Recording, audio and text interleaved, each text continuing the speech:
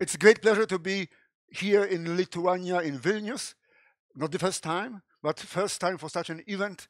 Uh, and I'm going to talk about exotic or synthetic quantum matter. In fact, I do not know much about um, quantum matter at all. But therefore, I will allow myself to, let me check, tell you something about special, maybe not matter, but states with maximal entanglement between subsystems. And let me first mention my collaborators, two of them, uh, Suhail and Arul from India, from Chennai, and three others from Poland, Adam Burchardt now in Amsterdam, Wojciech Bruzda in Krakow, and Grzegorz Rajchel now in Barcelona. So, let me make a brief reminder. If you have bipartite system, system A, system B, everything is simple. What is simple? We can define product states. So we say that such a pure state is separable if it has a product form. All other states are entangled. This is relatively easy to check. In the simplest possible case, we know there exists a maximally entangled Bell state. You know the form, for instance, 0, 0 plus 1, 1. It means if we perform a measurement on one side, we can predict the outcome on the other side. Technically, you can take any state psi bipartite and expand it in a product basis. Now, in one language, it's called Schmidt decomposition, in other singular value decomposition of this coefficient matrix C. And now those lambda singular values will determine entanglement. Basically, entanglement can be defined as degree of mixing of partial trace. Partial trace state sigma is just positive matrix C, C dagger. So its spectrum lambda determines entanglement. If there is only one non-zero singular value lambda, then the state is separable. In the other cases, entanglement, entangled, and we usually quantify entanglement with such a simple formula. Entropy of entanglement is just standard von Neumann entropy of partial trace or the Shannon entropy of the vector lambda. Well, this approach works also for higher dimensional systems, let's say two qubits. Then this Bell-like maximally entangled state has d, mm, d terms, and it's maximally entangled because all those singular values lambda are equal. In a sense, partial trace is maximally mixed. So partial trace CC dagger is maximally mixed, 1 over D. So this matrix C is unitary up to rescaling. For instance, if you take such a state, look, by two qubit state, 0, 0, 0, 1, 1, 0, minus 1, 1, it's maybe not so simple to see that indeed is equivalent to the Bell state. And to show this, it's enough to notice that this matrix is just a Hadamard matrix which is unitary. Look, 1, 1, 1, and here minus 1, so it's a unitary matrix, then it means that the both Schmidt coefficients are equal, the state is uh, equivalent to the Bell state, is maximally entangled. So this was simple for two parties. Now we are going to talk about multi party systems. Now, a simple question, what is multi? For me, two is bipartite and three and more is already multi. For me, definition is simple. There is a simple saying, tres faciunt collegium, so three makes a team. Three is already multi for me. Moreover, there is a simple geometric observation. In 2D, we have, we have, let's say, two-dimensional objects like a square is, are much simpler than three-dimensional objects like a cube. So this analogy will be used mm, very soon. Here, for me, multi means three or more. And now you'll see immediately where the problem starts. If I have three-partite state, let's say A, B, C, then this pure state in the product basis can be written not by a matrix, by a tensor, Tijk with three, three indices. And mathematicians, of course, know a lot about tensors, but everything with tensors is much more complicated with matrices. With matrices, we know how to find the rank of a matrix, how to produce, um, find eigenvalues, singular value decomposition, and so on. And then for tensor, everything is much more complicated. Even to compute the rank of a tensor or norm of a tensor, there are different norms. It's much, much, much more complicated. In short, the properties of tensors, if you have many indices, determine the entanglement properties of such pure states. They are only pure states of multipartite systems. And then there appear a simple questions, natural question. If you have a general case of n subsystems with d levels each, which state has extremal properties in the sense that it is the most entangled. So how do you think, what is the answer?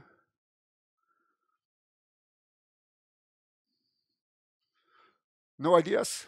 Basically, I don't know the answer. Why? Because it depends. It depends on the measure chosen. In the bipartite case situation is simple. Bell state is the only, only one distinguished. All other states are less entangled. Here, for three qubits or high, higher dimensional system, basically depending on the measure of entanglement, different states are distinguished. For instance, there's the famous GHZ state. Okay, this works, but rather slowly. Yes, uh, which consists of two terms, then the W state, which consists of three terms. They are kind of different. They cannot be transformed from one to another. And in short, there are some measures of entanglement with respect to which once GHZ is more entangled, respect to another measure, W is more entangled. So this only shows that multi is more difficult than two.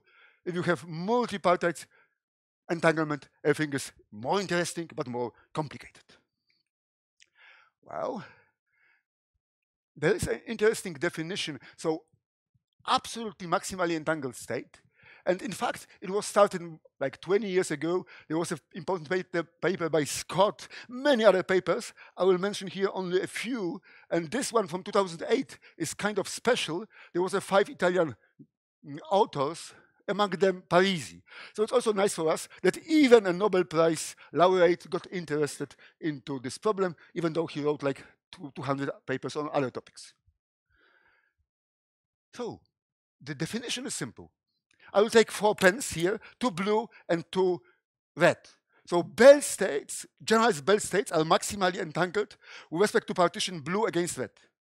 And absolutely maximally entangled are maximally entangled for all three partitions. There are three possible partitions. Is it clear to you? And there are more constraints. It's of course easier to construct such a red-blue state, which is maximally entangled. But if you additionally assume you require maximal entanglement in other partitions is much more complicated.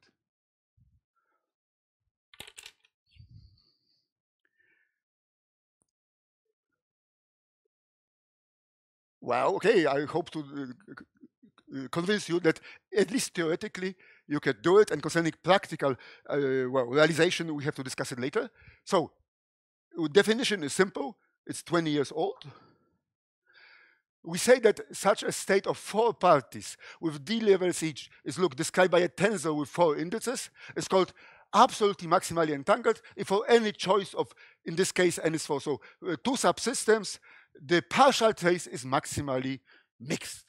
So if you take such a state psi, you say, ah, partial trace with respect to AB is maximally mixed, 1 over d squared, equal to partial trace over, let's say, BD equal to partial trace over BC.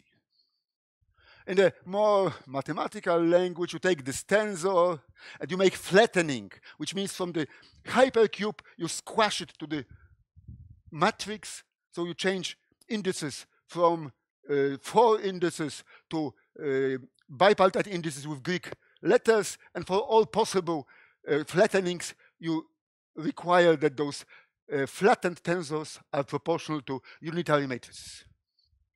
Sometimes in literature, some people call those tensors perfect, or sometimes those matrices are called two unitary. Why two unitary? Because they are unitary, but after reshaping, reordering of indices, they are still unitary.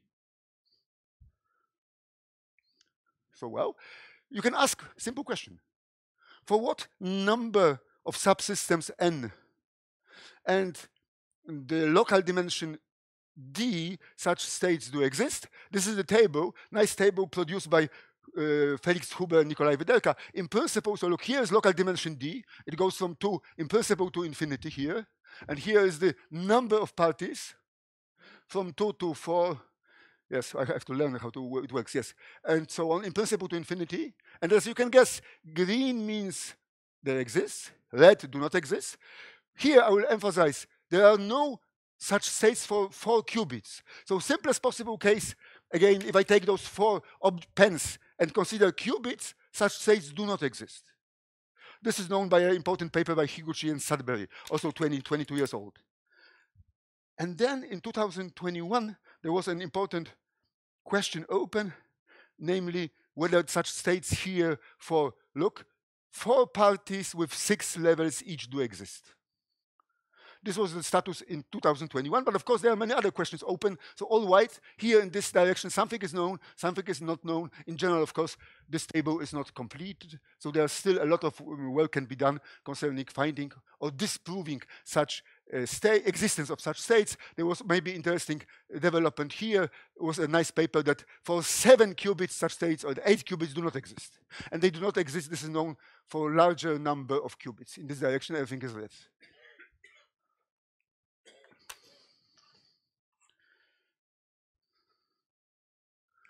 Well, here I will change uh, gears a little bit and I will ask you what can you see here. You can see here 16 cards. Maybe if you even don't play bridge, you will recognize immediately there's a very, very special pattern. Namely, I take 16 cards, I take four jacks, four queens, four uh, aces, and I put them in such a way that in each row, each column, you have only a single card of each suit and a single card of each rank. This is called, in mathematics, two mutually orthogonal Latin squares. Mutually orthogonal means that all cards are different, in short. Or Greco-Latin squares. Greco-Latin because I use here, uh, I would like to play bridge, cards. But Euler, who worked on this problem uh, mm, almost 300 years ago, okay, 250, uh, he used Greek letters instead of uh, cards and Greek letters instead of colors. So therefore they called them Greco-Latin square. So you see the definition. This is the example, but definition is simple. In each row, each column, there are only a single card of each suit and of each rank. So you understand this pattern. And now I will try to convince you that existence of such patterns is somehow related to existence of our states, multipartite entangled states. But first I will mention the following thing. Such patterns cannot exist for d equal 2. Why? If you have two aces and two kings, if you put, let's say, two red cards here, red ace and red king, it's clear that you cannot put the uh, blue king neither here nor there. Because you would have two kings or two aces in the uh, single column. So such objects, constellations do not exist for size 2. They do exist for, for size 3, 4, and 5. In fact, you can show they exist for any prime number, any power of prime, but a strange situation occurs already for, n equal, for d equals 6. Why 6? Well, 6, maybe you know, is the simplest number which is neither a prime nor a power of prime, because we know, well, 6 is 2 times 3. This we know, and this simple fact has immense implications. Strangely enough, the famous Euler problem, it, it had a kind of a practical application. Euler was then in St. Petersburg, and then the rumor says that uh, officers wanted to, generals, uh, prepare a parade in front of the Tsar. If they took 25 officers from different units of different ranks, they could order them in size a nice 5 times 5 equal 25 pattern of officers. Now they took the sixth unit, had six different uniforms. They want to arrange them like this. So look, six different um, units, six different uniforms, six different ranks. And in front of the Tsar, they want to arrange it like this, and they couldn't. So they asked Euler, and even Euler could not neither find the solution nor prove that it doesn't exist, but he was kind of certain the solution does not exist. Only 121 years later, there was a paper by Gaston Tarry, who published it in 1900 and some people claim this is the last important problem in mathematics solved but by not a mathematician. He was a lawyer. But he was a clever enough. No, no, okay, it's not so funny. Because, uh, look, he realized there's like 8 millions of possibilities, and his mathematical achievement was to reduce it to, let's say, 4,000, and then checking case by case all of them. He was in Algeria, and some people say he had nothing better to do because he was uh, sent there to Algeria and he had a good time to, to uh, enjoy the problem. But then he, all mathematicians of this age were very much impressed by this result. Who even, you can imagine, if Euler could not do it, it's not a simple task. But look, now I want to combine those two topics. Namely, here is a simpler case, this Greco-Latin square of size 3 written in the notation of Euler, uh, Greek or Latin letters, or my bridge notation, but in information science notation, we rather use numbers 0, 0, 1, 1, and so on. now look, we look at this pattern, translate it into numbers, and then make the following thing.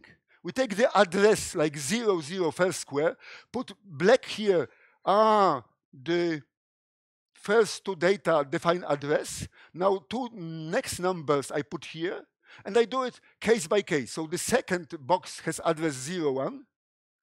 First row, second, uh, first column, row, second column. The contents is 1, 2. Then I put this next box here, and in this way, I generate a state of exactly nine terms. This is a very special state. By the way, this is the state I was talking to you before. Yes, you, you got it.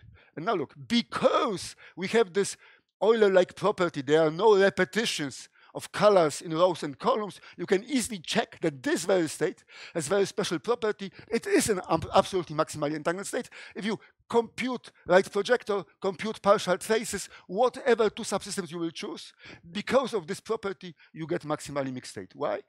What is the average color here? In a sense, it's white. I will define white as average. There is no advantage of spades or, or um, diamonds or clubs. So white means average is uniform. It is exactly the same property we require, require here, that the partial trace is uniform, which implies that the state, pure state was initially maximally entangled, and this is done for any possible uh, partition.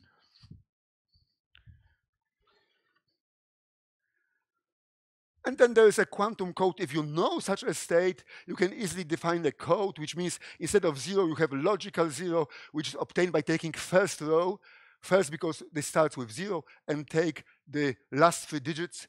And then this code enables you, if one uh, treat changes, to recover the information.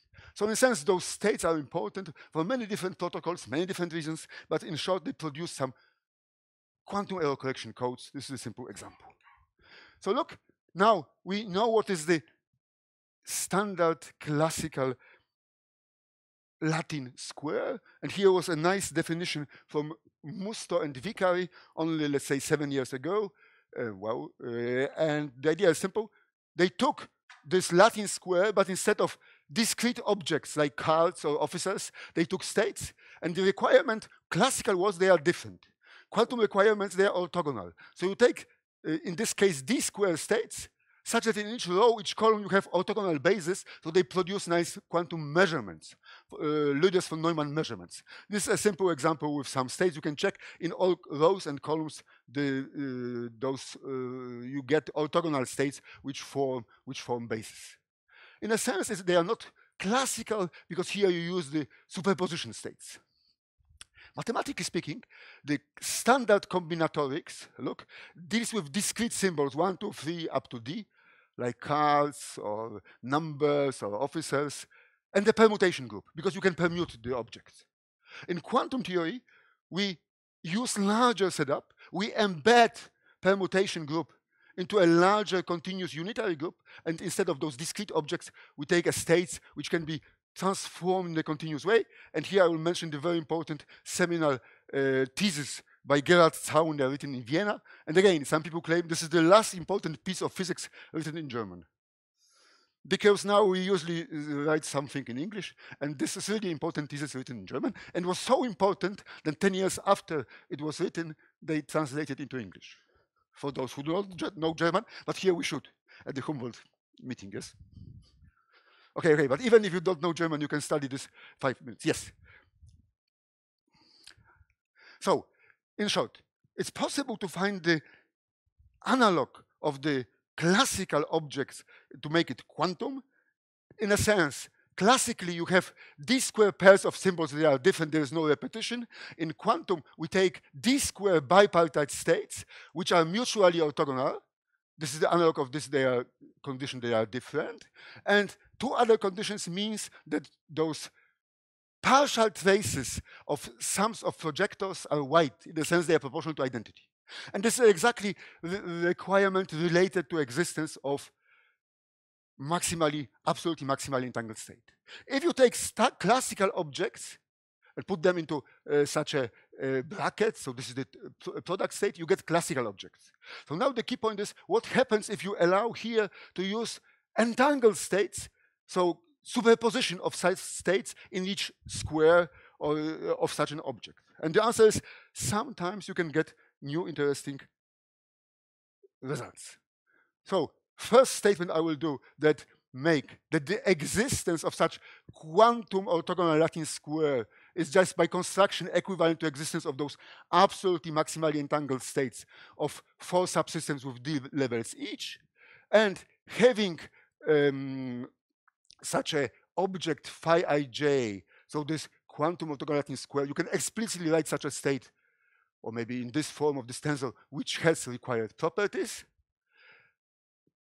And the most important result is that such a uh, solution exists for the Euler case. For the case of 6 times 6 plate, so again, there was no classical solution if you had a single officer in each box. But if you allow entanglement, so here this means like a superposition of, let's say, uh, rock and uh, bishop, then such a result exists. In fact, here, this is not the full solution. So now the size of this figure represents its amplitude. So the larger figure, this larger amplitude.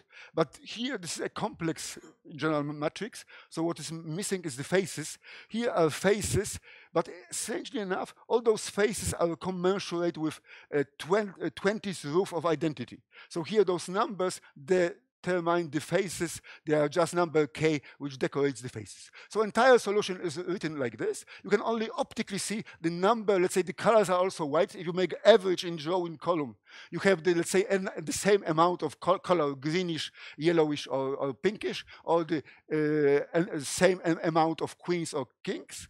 And this is the standard, more standard notion of this solution from goes from 0, 0 to 5, 5. And essentially enough, those numbers, A, B, and C, they're very simple. We found them analytically. So for instance, there's like Pythagorean theorem, which is here. And we decided to call this object the golden state because those two numbers, A uh, and B, they said their ratio is just a golden number. So I think I, I'm almost done. I will only mention that such four dice golden state does exist. Four dice, why? Because dice has six faces. So in a sense, four Q-hex state we generated corresponds to four dices. And if you are able to generate such a state and measure two, uh, get results of measurement performed of, of any two subsystems, you can uh, find the result which will be obtained on two other subsystems. Well, I'm almost done, but then I will mention, well, what is related to matter and exotic synthetic matter? I would say, well, from my perspective, a nice and exotic, let's say, entangled state of matter would be uh, such a system with a huge number of parties n, such that if you choose any two subsystems, each of size d, then the entanglement between all of them is maximal. And of course, the natural question exists, what is the minimal local dimension that such a state exists if n is arbitrary? Then it is known that such a family exists for d equal n. Well, now the question is whether you can find such a solution for d smaller than n. And of course, from the practical point of view, it's interesting to check whether such states can be realized in an experiment. For the GHZ states, by the way, they are not absolutely maximally entangled. There were first such states for 12 qubits. Now recently with IBM machines, they were they gone to 20, then to even 27 with fidelity much smaller than one, but still. However, I would like to advertise not only th those states absolutely maximally entangled of six qubits, they are still not realized in the lab. And another option is those maximally entangled states of four qubits. They live in 81 dimensional Hilbert space, I think, is also an interesting uh, target for an experiment because they are used in many different in many different theory protocols. So I'm really I'm really almost done. So uh, no last two pages. So multipartite, strongly entangled, let's say, exotic states can be useful for many different applications. For instance, quantum error correction codes, quantum communication, and so on. A simple statement is that such states do exist in the case of four subsystems with six levels each. And our result was obtained in 21, exactly 120 years, one years later after Atari, which obtained his result 121 years later after Euler. And this uh, result, yes, implies existence of solution of this quantum analog. It's not a classical problem of Euler, quantum analog of the 36 offsets problem of Euler and optimal bipartite unitary gate with maximal entangling power, such a perfect tensor with four indices, and non-additive quantum error correction code. So I hope such useful exotic states are, uh, they are well, uh, should be realized in an experiment. And now I will finish with one more statement. Last year, in April 2022, we published second paper on the same topic about 36 entangled officers of Euler. And we have written in April 2022. It is sad to note that these Russian officers recently left the parade ground in St. Petersburg, where they belong, and went a thousand miles south. However, explicit analytical results described in this work strongly suggest that the officers might eventually suffer a transition into a highly entangled state. Thank you.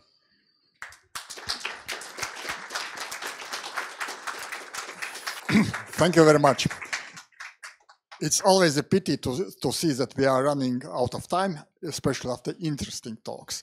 But I guess that even uh, on, if it's coming on the expense of lunchtime, we should have at least one question. So please, do we have questions? No.